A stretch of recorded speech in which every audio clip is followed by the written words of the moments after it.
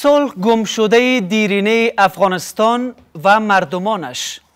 پدیده ناپدید شده ای که در میدانهای جنگ به دست نیامد و اکنون در میز گفتگو جستجو می شود. آیا افغانستان به صلح خواهد رسید؟ آیا طالبان صادقانه صلح می خواهند؟ نیت واشنگتن تا چی اندازه نیک و بیریاست؟ و در نهایت موانع در راه رسیدن به صلح کدام ها هستند و چگونه باید از راه برداشته شوند؟ به نام خدا شب شما بخیر. و برنامه محور امشب که ویژه گفتگوهای صلح افغانستان است خوش آمدید. مهمانانم در برنامه امشب خانم فوزیه کوفی رئیس حزب موج تحول افغانستان آقای علی احمد عثمانی وزیر پیشین کابینه و از نزدیکان رئیس اجرایی حکومت وحدت ملی و آقای فرامرز تمنا پژوهشگر امنیت بین الملل. هستن. مهمانان خیلی خوش آمدین به برنامه. آقای عثمانی با شما آغاز بکنیم و از این دو تا اعلامیه ناهمگون ارگ و سپیدار آغاز بکنیم که از دیدار آقای خلیلزاد بیرون داده شد. چی گفته شنود شد؟ پس از چندین دور سفر خلیلزاد به پاکستان بروکسل و گفتگوهاش در دوحه. ضمن عرض سلام خدمت شما. و مهمانان گرامی و همچنین بینندگان عزیز حتما سوال شما در رابطه با گفتگوهای دیشب در ریاست اجرایی بله. است چون ما در جریان گفتگوهای ارگ و جزوی اطلاعی که منتشر کردن قرار نداریم. معمولا چنین گفتگوهای در ریاست اجرایی که دور چندم برگزار میشه در چهار بخش برگزار میشه. بخش اول صحبت خلاصه از خود رئیس تیم است. خوش آمدگویی و بعض مقدمات و بخش دوم ارائه معلومات از طرف میمانان به خصوص آقای خلیلزاد. بخش سوم ارائه نظر و سوالات و پرسش های کسایی که در او گفتگو شرکت دارند بله. از جمله رهبرهای سیاسی و سایر شخصیت ها و بخش چهارم هم توضیحات پایانی امو مهمان ها مجددا. اگر ما بخوایم خلاصه کنم صحبت دکتر سب که مقدمتی بود در سه محور خلاصه شد. بخش اول از دشواری کار صلح پیچیدگی از او بیان کردن با توجه به که خود جناب دکتر سب تجاربی از مذاکرات صلح هم در بحث مسئله تاجیکستان دارن و هم در گفتگوهایی که در همه زمان بین گروه های مجاهدین و همچنین طالبا شده بود با توجه به تجارب خود از پیچیدگی صلح و از وقت گیر بودن از او گفتن. در بخش دوم بیان کردن که صلح خواست اصلی ما یعنی هم حکومت و هم مردم افغانستان و امیدواریم که طالبان به خواستن بدن و خواست جامعه رو بپذیرن و از کشتار و جنگ و قتل دست بردارن. و بخش سوم گفتهای اونا در رابطه با ملزومات صلح و شرایط لازم و شرایط کافی در مسئله صلح بود که گفتن اما رقم که جنگ قربانی نیاز داره صلح هم تعمل پذیری هم دیگر پذیری نیاز داره. صلح پدیده انحصاری نمی‌تونه باشه با موفقیت نمی‌رسه. نباید هم در انحصار هیچ گروه شخص قرار داشته باشه. همینجا آقای بله. عثمانی چند تا نقطه ای که تفاوت داره اعلامیه ریاست اجرایه با اعلامیه ارگ در اعلامیه ریاست اجرایه گفته شده که پیش شرط امضای توافق امریکا با طالبان کاهش قابل ملاحظه خشونت هاست. یک. دوم گفته شده که یک هیئت فراگیر از تمامی جناها ساخته شوه و به گفتگوهای صلح با طالبان برند دو. سه از آنچه که در اعلامیه ارگ است و در اعلامیه ریاست اجرایی این که تا فعلا پیشرفت قابل ملاحظه در گفتگوهای صلح با طالبان صورت نگرفته که نقل قول شده از آقای خلیلزاد ولی در اعلامیه شما نیست. چرا یک حکومت و چند تا حرف یا یک بام و دو هوا؟ خب مسئله یک بام و دو هوا مسئله که اون مشکلاتی که شما خبر دارین اختلافاتی که در حکومت وحدت ملی هست حکومتی که امروز از حکومت به یک اداره تبدیل شده. تنها در این در این مبحث نیست. ما در وظایف ذاتی حکومت با هم مشکلات جدی داریم. ما در بخش امنیت با هم مشکل داریم ما در بخش توسعه با هم اختلاف نظر جدی داریم ما در بخش حکومت داری با هم اختلافات نظر بسیار گسترده و جدی داریم. در حال حاضر به باور ما اداره حکومت وحدت ملی به یک اداره آقای اشرف قنی تبدیل شده.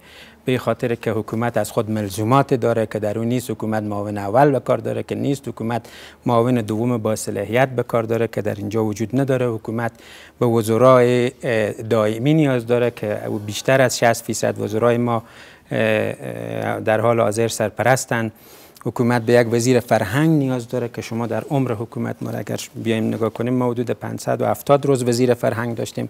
از 1926 روزه که تا امروز از عمر حکومت وحدت ملی گذشته حکومت به وزیر معارف نیاز داره که نداریم به معادن این همه سبب خب. میشه که دو تا خانه حکومت یا دو تا کاخ حکومت در مسائل کلان ملی هم با هم اختلاف داشته دقیقا. باشن. دقیقاً. ولی من خب کی داره از منافع ملی پاسداری می‌کنه؟ خب من می‌خواستم خب بحث بحث پاسداری بحث پاسداری از منافع یک بحث بحث واقعیت که هست. واقعیت موجود رو بیان کردم که واقعیت موجود انمی واقعیت موجود موجود است.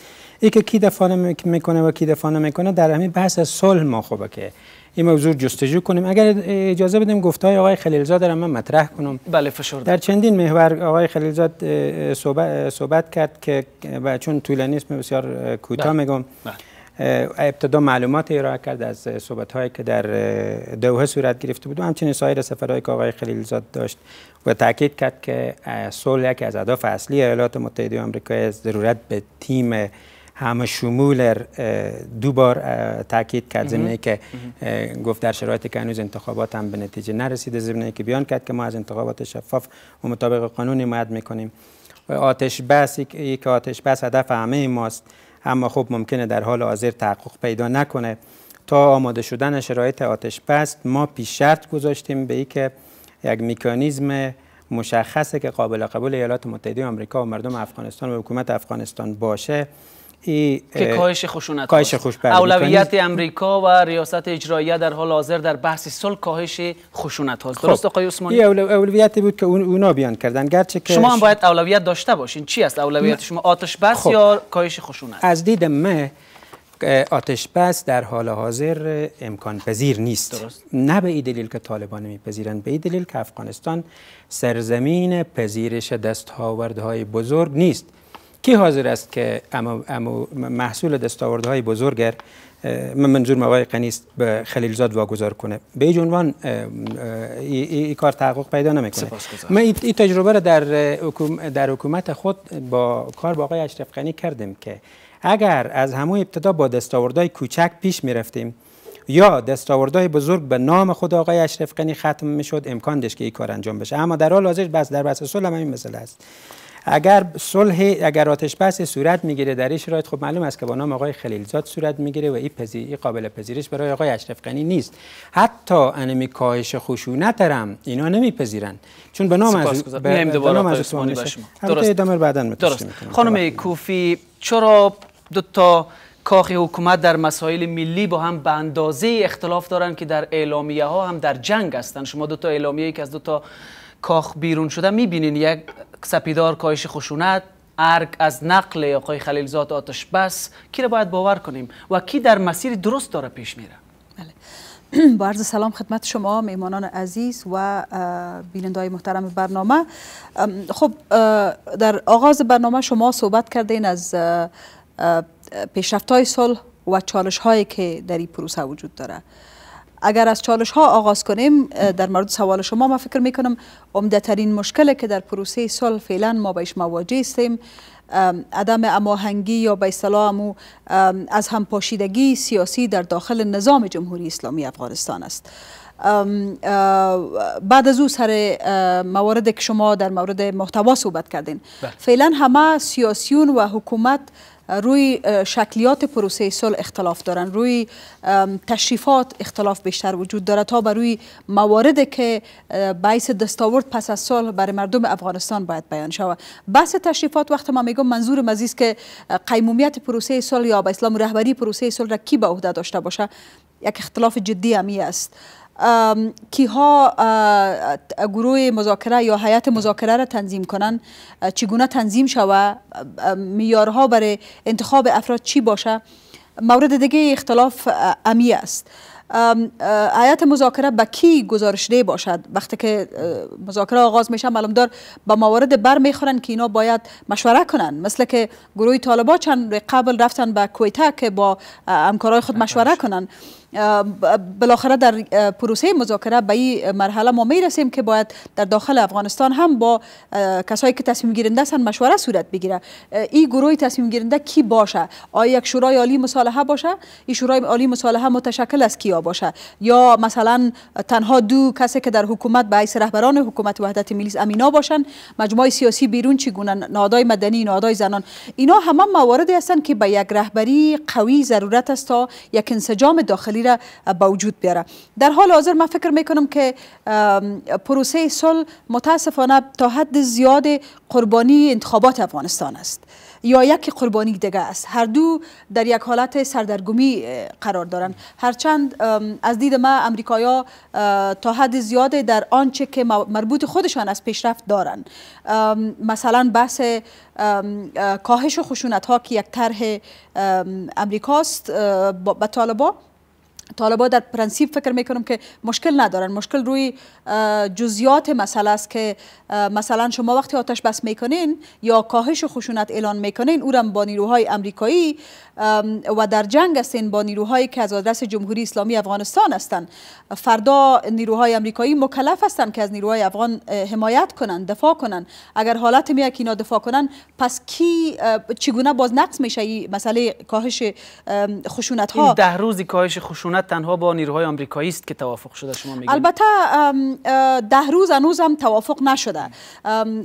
یک طرحی را که آقای خلیلزاد فعلا سرشکار می‌کنه یا مواردی است که میگن نتیجه نداریم در اعلامیه که از طرف ارگ بود. امی است که آتش بس یا می کاهش و خشونت یا به اصطلاح آرایوی که برش میگن تا چی مدت باشه؟ صحبت هایی که با آقای خلیزاد داشتیم ما اونا نظرشان است که متصل امضای توافق امریکا با طالبان گفتگوهای میان افغانی یا به اسلام گفتگوهای بین افغانی آغاز شود. حالا در داخل افغانستان ما یا آمادگی را داریم.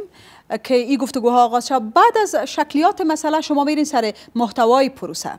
سر محتوای پروسه همه میگیم که جمهوری اسلامی افغانستان خط سرخ ما است.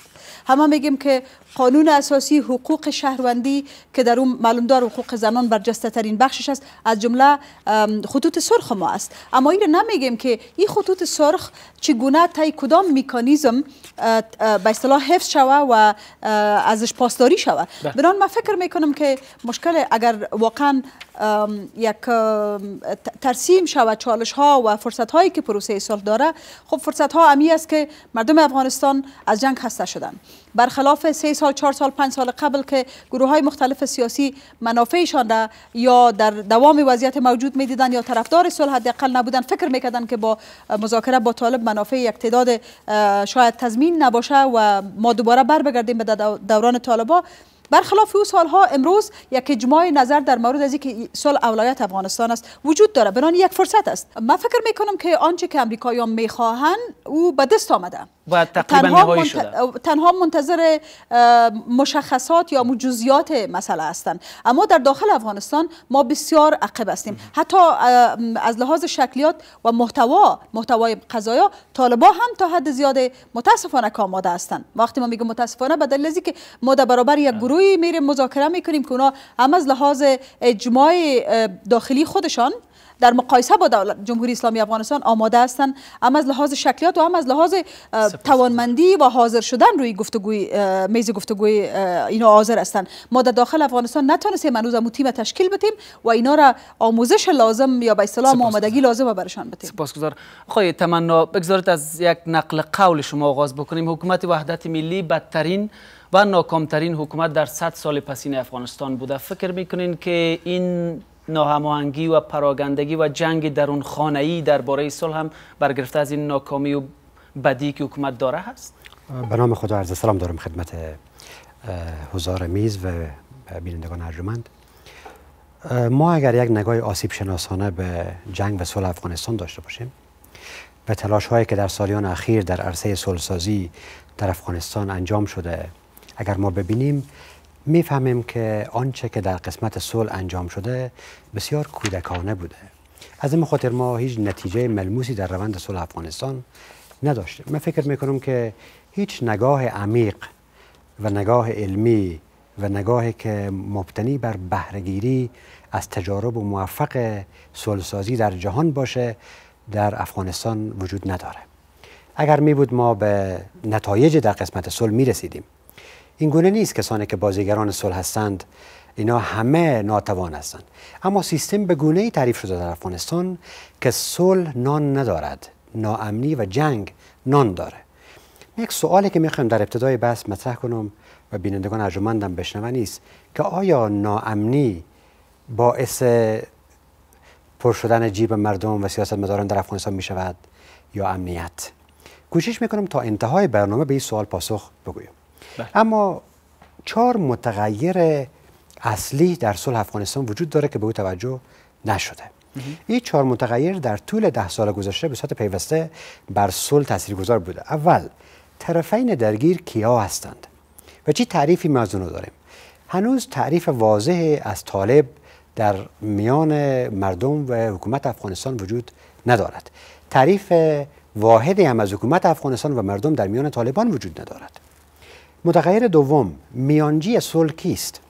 میانجی که باید بیطرف باشه. میانجی مصلح است و اهداف خیرخواهانه دارد که این متاسفانه در افغانستان نبوده. اصلا تأسیس شورای عالی صلح برای نشدن صلح بود. همون ترکیب شورای عالی صلح از بد و تأسیس باعث بیاعتمادی بین شورای عالی صلح و طالبان بود. متغیر سوم موضوع منازعه چیست؟ یک وقت منازعه بر سر یک زمین است. یک وقت منازعه بر سر مقدار پول است یک وقت منازعه بر سر برتری قومی است یک سر وقت منازعه بر سر مسائل سیاسی است. منازعه افغانستان ترکیبی از تمام مسائل داره به اضافه شکاف های ایدئولوژیک. و این بسیار پیچیده. چهارم چهارم. بعد از وقفه بگیریم آقای تمنا. میان برنامه کوتاه.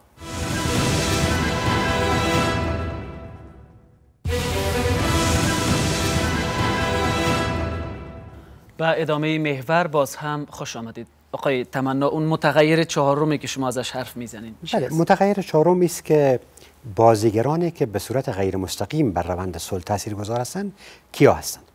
اما در صلح افغانستان دو مسئله فرعی دیگر هم در حال حاضر قابل بحثه. یک انتخابات سوم نوامبر 2020 ایالات متحده آمریکا. دوم انتخابات ریاست جمهوری افغانستان. اینا کانتکست بحثه. ای که زود به نتیجه برسه صلح یا نه ای که چه مقدار امتیاز به طرفین باید بدند و بگیرن این مسائل تاثیر تحت تاثیر قرار داده. لذا بس انتخابات افغانستان با صلح گره خورده است. از دید ما ورود ایالات متحده امریکا به مسائل صلح افغانستان و این ورود سرشار از عجله هیچگاه برای افغانستان نیست بلکه به عنوان یک ابزار برای بهره سیاسی در انتخابات نوامبر 2020 امریکا مورد بهره قرار خواهد گرفت. صلح افغانستان باید موفق بشود نه به خاطر افغانستان به خاطر پیروزی دوباره جمهوری خواهان در انتخابات ایالات متحده آمریکا. حکومت افغانستان هم طبیعی منافع خود داره.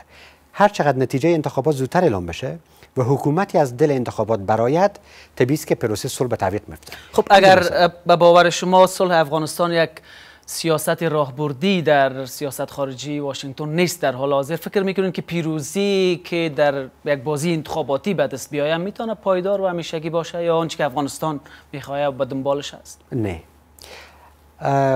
من چون می درس مطالعات صلح می‌تونم اجازه می‌تونم یک کوتاه یک موضوع اشاره کنم خدمت شما.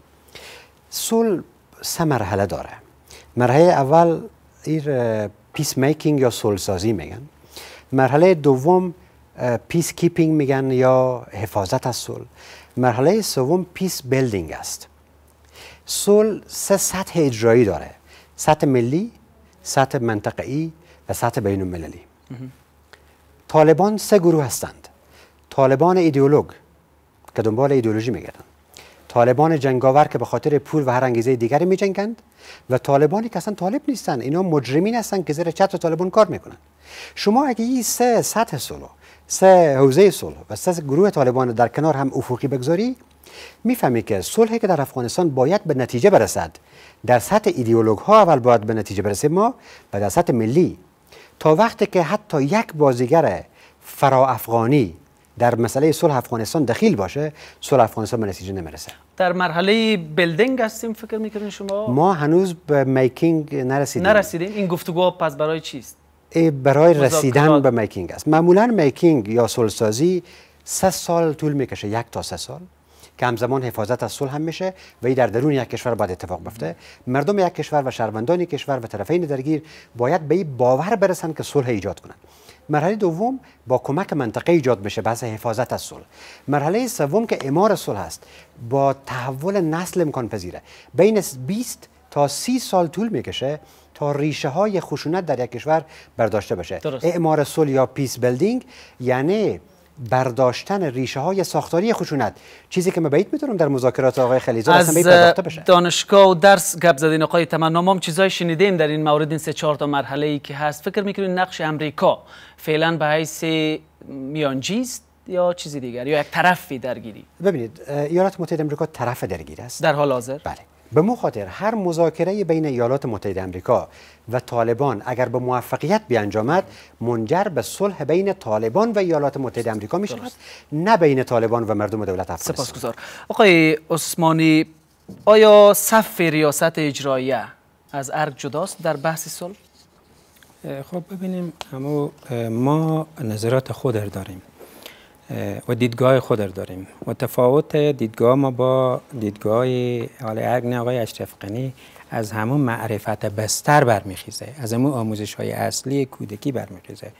از همون متفاوت فرهنگی ما برمیخیزه و, و الاخر اما ای که حالا ما بیم بحث به او به این مسئله منحصر بکنیم. شاید که ما نتونیم. از این بحث هم نتیجه لازم به دست بیاریم. ضمن که این بحث ها ما به شکل مفصل هم مطرح کردیم. فکر می‌کنم به خود شما هم گفتم در کتاب حکومت داری در ابعاد بله. کوچک. خیلی از موارد در ما در حدود سه ماه گذشته نقد کردم در رابطه با حکومت وحدت ملی که قسمتی از اون نقد خود ما هم بود یعنی تیم خود ما هم بود. و کتاب بعدی ما شاید در طول دو ماه بعد منتشر بشه که موانع توسعه در حکومت وحدت ملی بیان می‌کنم من می‌خوام برم روی بحث قبلی خود که صحبت های یعنی اما مسئله صحبت های شب گذشته تکمیل نشد. درست. مورد که آقای خلیلزاد زیاد تاکید کرد دو تا مسئله اصلی بود. بعد میشه بپردازینی که مردم تا فعلا می‌پرسند که آیا حکومت افغانستان در جریان گفتگوهای دوحه است یا نیست؟ خلیلزاد دیروز آمد به کابل. آیا سپیدار جدای ارک؟ شما را در جریان آن چی که میگذره با جزئیات گذاشته یا خیر؟ اگر گذاشته چی میگذره براستی در دوحه؟ خب اونا با امو جزئیاتی که لازم بود از دید خود از اونا اما اطلاعات در اختیار ما قرار دادن. مهمترین بحثی که آقای خلیلزاد مطرح کرد دو تا مسئله اصلی که در حال حاضر برای آمریکا مهم است مسئله تروریسم. و بعد بحث مسئله خانم ها بود. چون تعداد از خانم ها در گفتگو در گفتگوی دیشب شرکت داشتن یک قسمت عمده بس ما روی انمی همین مسئله چرخید. ضمن از که اونا بیان کردن جزئیات مسئله رد در بحث خانم ما گفتن ما مسئله رو مطرح نکردیم تا با اونا. چون میگن مسئله مربوط افغانستان بله. یک مسئله مسئله اصلی دیگه است که باید خب مثلا روی پیمان امریکا و طالب چی وقت امضا میشه آقای اسخانی خب باید حکومت افغانستان بدانه که چی وقت به کجا رسیده چی وقت امضا میشه. و در اون پیمان چی گفته شده براستی در در در مسئله در که کی امضا میشه پیمان اونا گفتن که ما منتظر طالبا هستیم به خاطر پیش شرطی که قائل شدیم برشان او پیش شرط هم در رابطه با مکانیزم کاهش خشونت بود. خب در رابطه با آتش در بحث نیست. در یعنی در میان نیست. یعنی مورد بحث آمریکا طالب در دوحه نیست. یا هست؟ نه آتش بس خودشان گفتند که امکان پذیر نیست مورد بحث هست. اما یک بحث که آقای خلیلزاد مطرح کردی بود که روی چگونگی آتش بس باید توافق صورت بگیره. خب در این مرحله در این مرحله یا بعدی؟ نه در همین مرحله. روی چگونگی آتش بس نه روی خود آتش اما پیمان با کاهش خشونت امضا میشه. یعنی توافق نامه بله. صلح آمریکا و طالب درست؟ بله دقیقاً. پیش شرط امضای پیمان که فعلا اونا برای طالبا وضع کردن انمی بود که روی می... این مکانیزمی که اینا مطرح کردن برای کاهش خشونت او مکانیزم رو بپذیرن. خب شما از موقف امریکا پشتیبانی می‌کنید. خب ببینیم من مسئله واقعیت افغانستان بیان کردم. افغانستان کشور دستاوردهای بزرگ نیست مگری که با آقای اشرف غنی نسبت داده بشه و الا یادم مانع میشه. اگر همی آتش بس قرار باشه صورت بگیره مطمئن باشیم یادم پروسه صلح هم در امو جایگاه موقعیت امکانات که داره به خطر مواجه می‌سازه. حتی حاضر نیست چون انمی بحث کاهش خشونت هم به نام ای جناب چون ثبت نمیشه می‌خواد که در این مانع قائل بشه. با پذیرش این واقعیت ها ما میپذیریم که اگر 49 و 51 درصد مانع حتی آتش بس در درون حکومت می‌بینیم. اگر شرایط طوری می بود که آقای اشرف غنی وارد مذاکرات می بود. آقای اشرف غنی هم حرف می‌زد دستاوردا به نام از او ختم می‌شد خب این قدم را میپذیرفت ایرم خیلی بزرگ می‌کرد. شما توجه کنیم به امو کارهایی که چه از بحث تشکیلات چه از بحث مباحثی که در حکومت وحدت ملی انجام میشه. تمام مباحث به این سمت میچرخه که یک یک نفر. یعنی موقع اشرف قنی always right never wrong همیشه حق با اوست همیشه همه چیز باید بله. بنام از او تمام بله چرا؟ شورای صلح چرا شورای شورای صلح از کار افتاد؟ انمی بحث است که اگر شورای صلح کار می‌کرد بعد آقای خلیلی پیش می بود. آقای خلیلی از جمله کسایی نبود که بیای در حضور آقای اشرف غنی بشینه بگه که نظر با توجه به نظرات نیک شما و بلند شما. اما او کسی که وزیر صلح کرد دقیقا به همین دلیل. و شما می‌بینیم یک سر از بچه های وزیر خارجه می‌سازن و وزیر فلان و وزیر فلان. بحث از بحث خب اینا می‌تونه اتهام باشه که چقدر میپذیره هر کی نپذیرفته. هر ادعایش مشخص رئیس جمهور که رئیس اجرایی افغانستان نصف حکومت در دست داره ولی یک ورق طرح برای آینده افغانستان نداره. خب. حتی معاون اول دولت ساز گفت که سیاستگران و که شما هم در جمع سیاستگران هستین یعنی-, یعنی اجرایت دنبال روی امریکا و واشنگتن هستند و حتی پایدان کشال در طرح آقای خلیلزاد. سه ماه هست که من کتاب حکومت داری در عباد کوچک با آقای قنی روان کردم که جوابایش را بده نداده. در او کتاب بحث برنامه با تفصیل آمده. به خصوص در رابطه در رابطه با بحث صلح هم این برنامه ریزی مطرح است. آقای اشرف قنی چند چیز نداره و اونا واقعیت رو نمیگن یک معیار نداره. امروز آقای قیصری خوب است اگر با من بود. اگر نبود بد است. تیارا و اونم میفهم تانک و اونم بالا سرش میره. و این در همه موارد است. دوم بحث برنامه بزرگترین دروغیه که اینا میگن. در او کتاب به شکل مفصل از ابتدای تاریخ برنامه ریزی افغانستان بحث شده تا آمده رسیده به چارچوب صلح و انکشاف ملی. آقای اشرف خانی حال برنامه جدید به نام صلح ارائه کرده. خب شما در سال 2017 خب برنامه چارچوب صلح و انکشاف ملی ارائه کرده بودین. گرچه یک برنامه جالبی نیست که گفتگوهای بی قید و شرط بود در اون طرح رئیس جمهور که در نشست کابل اعلام کرد. البته اور بیان اور اور چارچوب صلح و اینکه چارچوب صلح و انکشاف ملی یا ANPDF یک مسئله است که بیشتر در رابطه با بحث برنامه پنج ساله افغانستان مسائل بیان می‌کنه. در او قسمت ما آمدیم به شکل مفصل برنامه ریزی نقد کردیم از پلان های صد روزی که ما در حکومت وحدت ملی داشتیم تا آخرین پلان که چارچوب صلح و انکشاف ملی بود. هیچ کدام از اینا نه اساس برنامه ریزی داره نه برنامه هایی که بتونه یک پروسر موفق کنه ضمن از که انمین و سیاست گذاری و برنامه ریزی حکومت وحدت ملی اگر شما از ابتدا تا حال تعقیب کنیم هیچ پروسه تحت ریاست آقای اشرف غنی با موفقیت به پایان نرسیده. اگر یکی رسیده نشان بدین. برنامه توسعه که همیشه با فعل مزاری اونو حرف با ریاست در آینده چنین با ریاست رئیس اجرایی رسیده؟ حداقل. چند تا برنامه در کجا ببینیم حداقل حداقل. بحثی که بیان می‌کنیم اکثر دستاوردهایی که در حکومت وحدت ملی اتفاق افتاد مربوط به وزرای ما بود. بند سلمر کی بست؟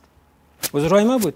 سازمان تجارت جهانی کی عضویت چی کرد؟ وزیر ما بود. بحث مسئله چابهار. شما از طرف ارگ برنامه ترین وزیر نام داده گرفتین یعنی؟ خب بفرمایید جواب بدن. بفرمایید بفرمایید بعض مباحثی که در اونجا مطرح کردیم از برنامه خود و برنامه ما بیان پاسخ بدن سپاسگزار سپاسگزار میایم دوباره. خانم کوفی چی اشکالی داره که سیاسیون که اول می‌پرسم که شما در رکاب اون جمعی که در خانه آقای محقق نشست داشتن هستین در اون صف یا خیر؟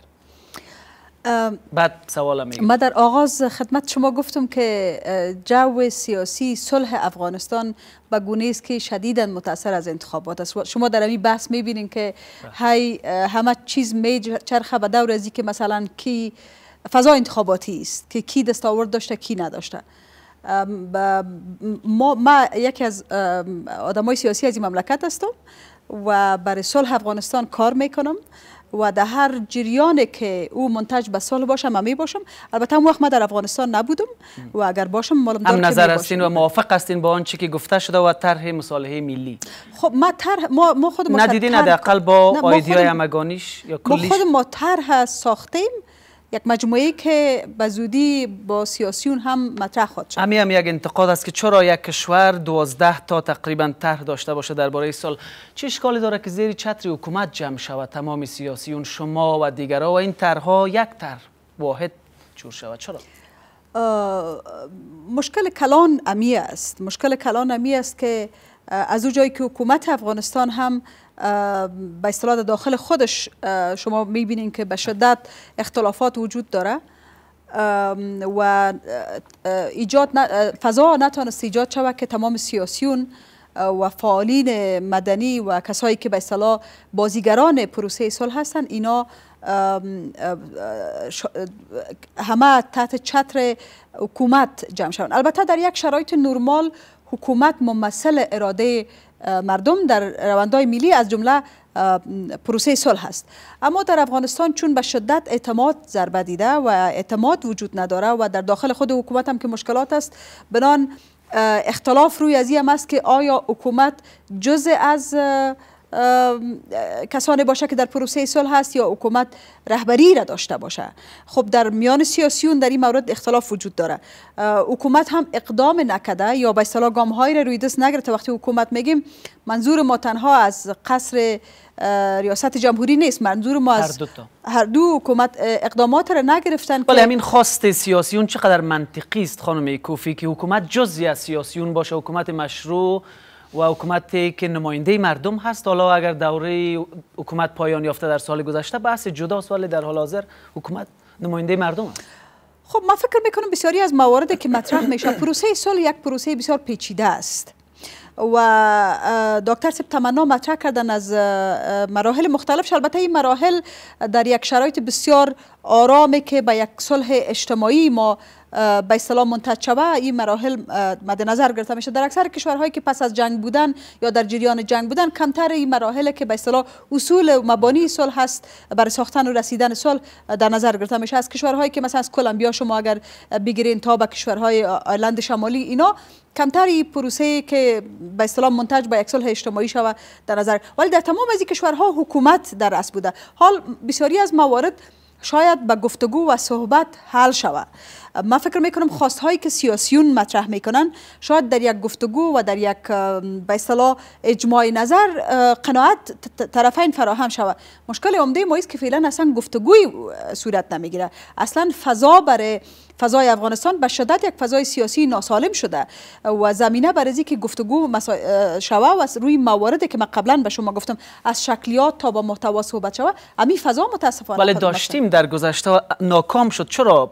شورای عالی مصالحه لوی جرگه که درباره صلح برگزار شد و نشست های متعددی که رئیس جمهور با سیاسیون داره.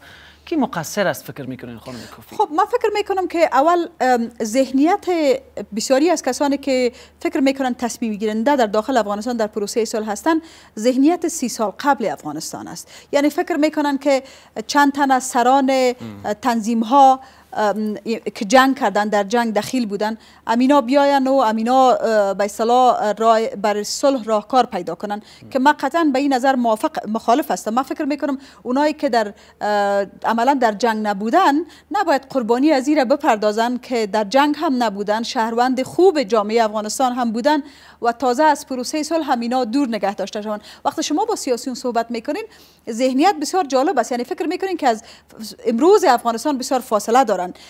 مخالفت ما روی از است که ما افغانستان امروز باید ممثلش باشیم. یک میان برنامه بگیریم اگر ما می‌خوام امیر تکمیل کنم آقای امیری بله، که اتفاقا ما فکر می‌کنم که در او جایی که مشکل وجود داره ما باید در امونجا باشیم. جایی که مشکل وجود نداره که نداره مشکل وجود. دوباره میایم وقفه.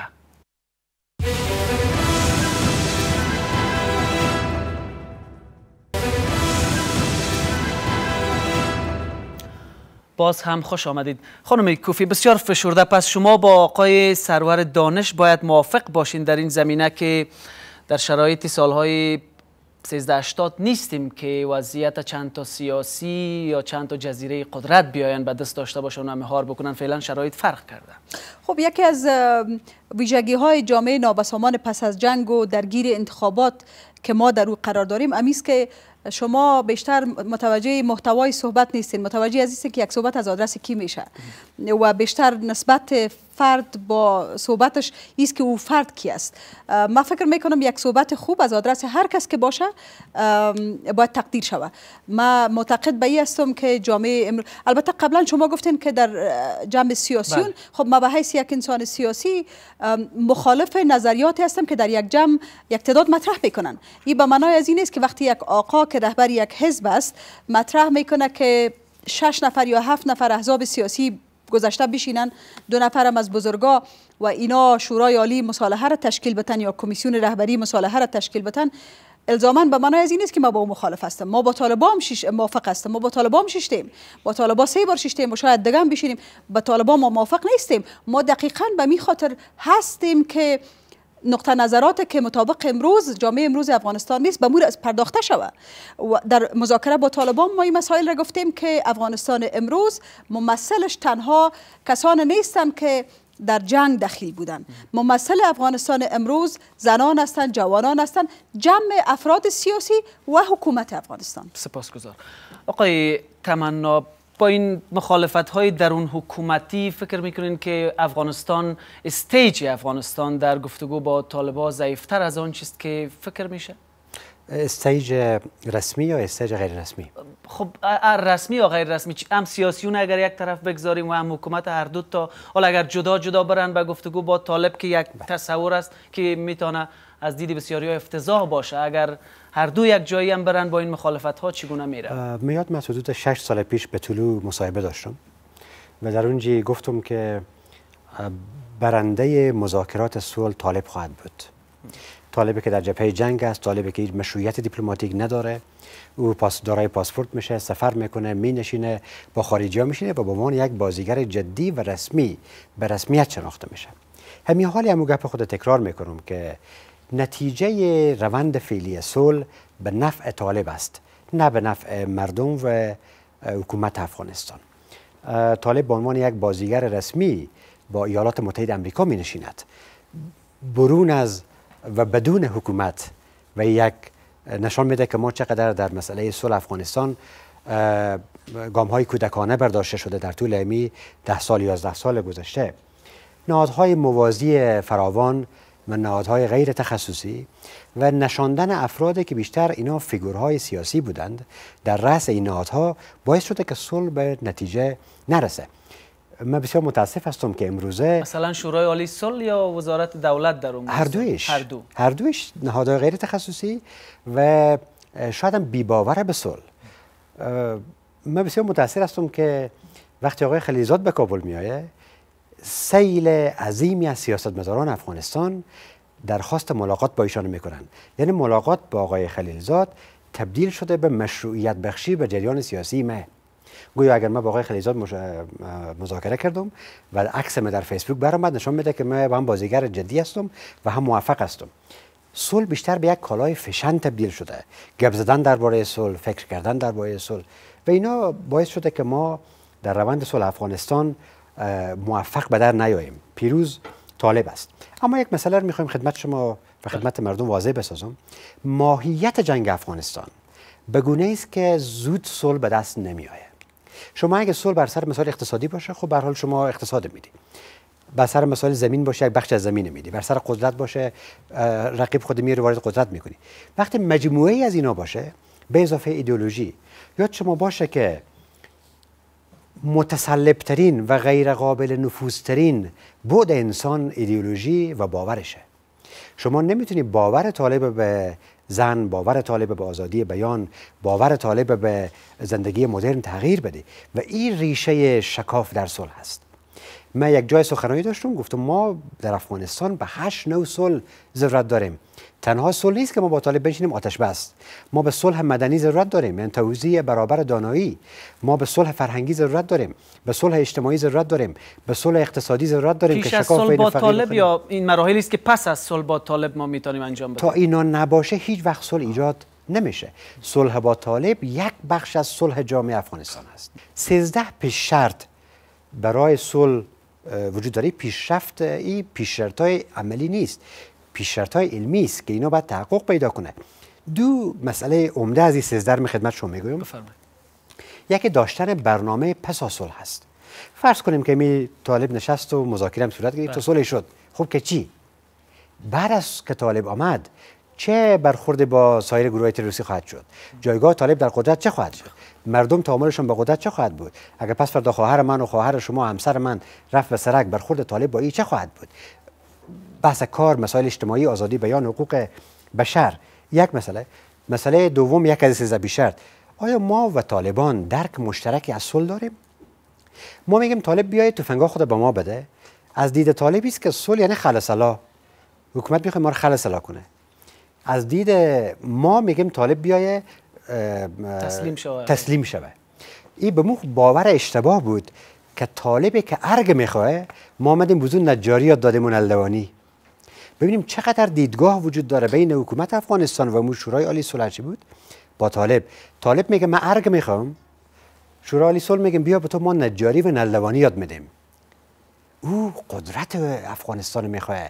حتی طالبان مشارکت در قدرت نمی‌خواهند جنبش های ایدئولوژیک در تمام دنیا شریک قدرت نمیشن. پس این همه سر و صدا و گریبان پاره کردن که طرح داریم فلان کس طرح نداره ما داریم یا 12 13 طرح در درون افغانستان چی است؟ آقای تمنا اگر این مسائل بنیادینی که شما میگین جای نداره در این کاغذ ها ببینید طبیعتا هر کس می‌خواد که همو اختیار یا سکان صلح به دست بگیره.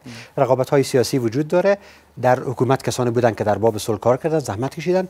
کسانی هم بودن که صلح برشان یک فشن بوده. اینا هم هسته. اما باید تفکیک بشه. ماهیت حکومت وحدت ملی و تقسیم قدرت میان دو تیم خودش مانع صلح بود. به خاطر که میان سیاستمداران اجماعی وجود نداشت در باب صلح. سپاسگزار آقای عثمانی ظاهرا بخش پایانی برنامه است. با جنبندی چند تا پرسش کوتاه ما پیش از او دارم. بعد شما میشه جنبندی بحث بگوین آیا اجرایه در صف سیاسیون یا در رکاب سیاسیون جدا از ارگ به گفتگو با طالب میره؟ ببینین این بستگی به وضعیت آینده داره. واقعیت بیایم بپذیریم. ما در وضعیت زندگی می‌کنیم و آینده در حال تکوینه که به دست ما نیه. و اجتناب ما نمی‌تونیم از آینده اجتناب کنیم. با آینده پرتاب میشیم که آگهی نداریم از او اطلاعات نداریم. اما در عین حال شدت اختلافات سیاسی و تبری به اندازه که ترس از آمدن این اندیشه ها منسوخ آینده تاریک هم نتونسته. حکومت با گروه های سیاسی حکومت یعنی منظور مرگ با تمام گروه های سیاسی در یک جنا قرار بده. در اینجا توجه داشته باشیم بله. واقعیت ما این کار کرده نمی‌تونیم. اینجا یک اداره ارگ است. و یک مجموعه از سیاسیون تنها ریاست اجرایی نیست که بحث ریاست اجرایی ما مطرح کنیم. تقریبا اکثر شما اپوزیسیونی در اون حکومتی هستین دیگه بخشی از حکومت نیست. نه خیر. ما بخشی از حکومت ما بخشی از حکومت در دو تا stage. ما بخشی از حکومت سیاسی و حکومت داری اختلاف اختلافات سیاسی اختلافات درون حکومتی است. ما بخشی از حکومتیم که تانستیم جناح سیاسی افغانستان به دور خود جمع کنیم. با بخشی از حکومت مشکل داشتیم که نتانست. این موضوع بپذیره. ببینیم خطرات آینده. خطرات جدی تهدیدات جدی. ممکنه که وضعیتی که میایه سبب فلج شدن نظام سیاسی بشه ممکنه ارز در ارزش های ما در هم شکسته بشه. آینده در حال تکوینه که ممکنه با های امروز ما در تعارض باشه. در این حال ما با تهدید دیگه مواجهیم که ممکنه وضعیت آینده جدال قدرت زیاد کنه.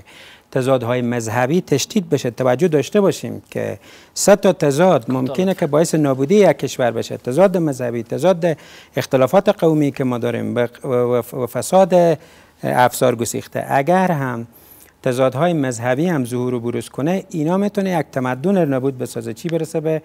که یک کشور نابود بسازه. ما با پذیرش واقعیت ها باید بریم به سمت قضیه. همین از واقعیت افغانستان. انمی اختلافات هست ولی نیست که در این اختلافات ما بگیم نه مطلقا تیوری سازی بکنیم که کار نمیشه. دو تا شبه صلح در همه حکومت در همه زمان انجام شد. خود توافق نامه حکومت وحدت ملی بله. به نوعی در ابتدا یک توافق صلح بود بین دو جناح سیاسی در حال نزاع توافق حزب اسلامی, با در حکومت تا مرحله امضا پیش رفت. با پذیرش همه واقعیت ها و بله. قدم زدن واقعیت ها می‌تونیم ما به سمت درست حرکت کنیم. متوجه باشیم یک کلمه اضافه کنم بله. که تجارب جهانی و اکادمیک درسته می‌تونه مورد استفاده قرار بگیره. ما بارها استفاده کردیم.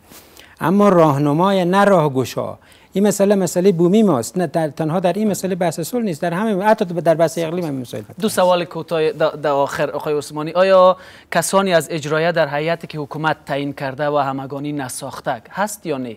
ببینیم. یک مسئله ما شما چون فرصت نداریم یک مسئله به شما مطرح کنم که در بحث اجرایی سوال هایی که از کردین اونا جز مشقا و تمرین های من نیست. ما در بحث ریاست اجرایی و صحبت هایی که کردم از همون گروه سیاسی انتخاباتی صحبت کردم که من نمایندگی از اون می‌کنم و ریاست و کم پر بوده دارم. واقعیت که از مسائل درون ریاست اجرایی ما آگهی و اطلاعات ندارم. سپاسگزار خانم کوفی آینده را چگونه می‌بینین؟ با تمام چالش هایی که برشمردیم در درون در بیرون در منطقه هنوز باور است که ما یک اجماع منطقه‌ای و جهانی هم به شکلی که باید نداریم. آنچه که گفته میشه داریم شاید درست نیست. کدام طرف میریم؟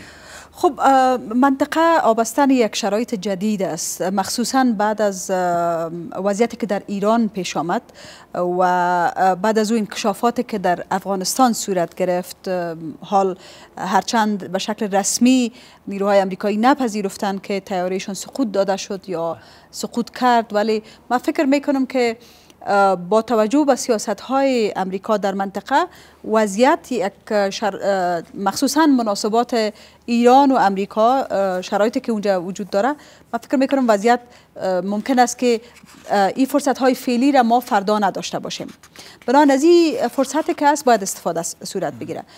در کنار از این در ایالات متحده امریکا هم که سیاست خارجی حزب جمهوری خواه حزب که آقای ترامپ کاندید از او خواهد بود معمولا یک روی کرد سخت ابزار داشته. یعنی اینا در کشورهایی که رفتن بیشتر علاقمند استفاده از قوه نظامی و قوه قهریه بودند حزب دموکرات ها اونا بیشتر روی کرده گفتگو و مصالحه و اتفاقا بحث مصالحه در دوران و خروج نیروهای خارجی در دوران حکومت باراک اوباما بود که بیشتر جدی شد. بنان من فکر می‌کنم که این فکر نکنیم که در داخل افغانستان این انتباه که تنها ترامپ است که می‌خواهد در انتخابات ریاست جمهوری برنده شود و به او خاطر پروسه صلح افغانستان دنبال می‌کنه حتی اگر یک دموکرات هم در امریکا برنده شود شاید اونا جدیتر اصلا بحث افغانستان با یک مسئله انتخاباتی جدی تبدیل شده. بنابراین ما از این فرصت ها باید استفاده کنیم دو تا سوال کوتاه خانم کوفی چون شما در گفتگوهای قطر بودین. من قطعنامه مشترک کنفرانسی بین الافغانی سال دو را دارم.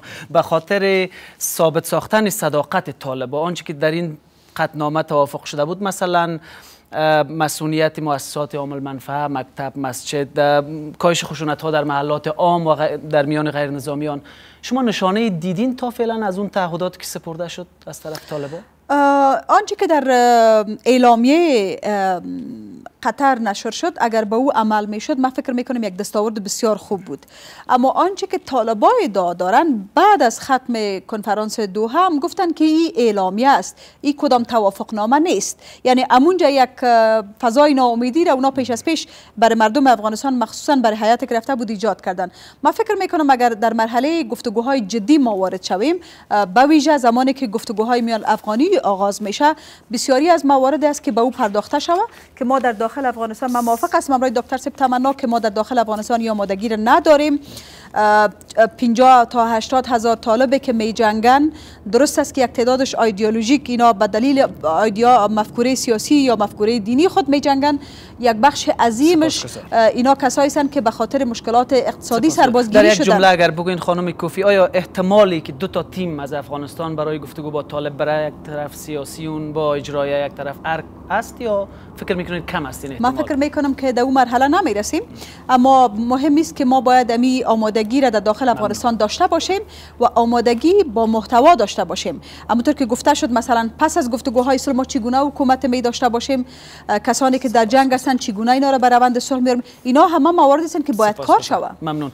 آقای تمنا یک دقیقه یا بیشتر فرصت داریم. آینده را با چالش هایی که خانم کوفی در منطقه گفت مخصوصا تنش های ایران و امریکا. جنرال امریکایی امروز گفته که نگران فعالیت های ضد امریکایی ایران در افغانستان است.